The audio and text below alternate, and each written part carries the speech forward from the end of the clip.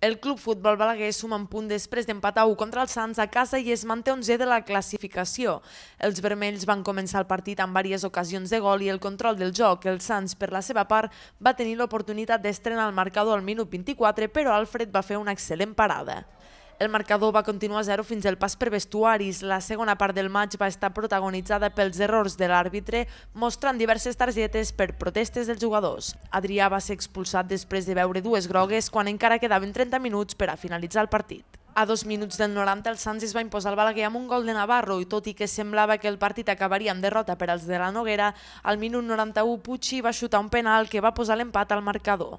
Al finalitzar el maig, Belló es mostrava content amb el treball de l'equip durant el partit. Sí, eh, està clar que hem millorat molt, hem fet un bon pas. Eh, ens falta corregir cosetes, ells han tingut eh, aquesta ocasió. Eh, sabíem eh, com, com el Sants, eh, sabia el que podia passar, eh, depèn del que féssim nosaltres. Eh, ens queda molt a millorar, però però bueno, la gent ha agafat els conceptes, la gent ha, ha treballat molt, hasta, quan s'ha quedat amb nou la gent ha lluitat fins al final, que quasi poden guanyar, eh, molt content avui del treball de l'equip.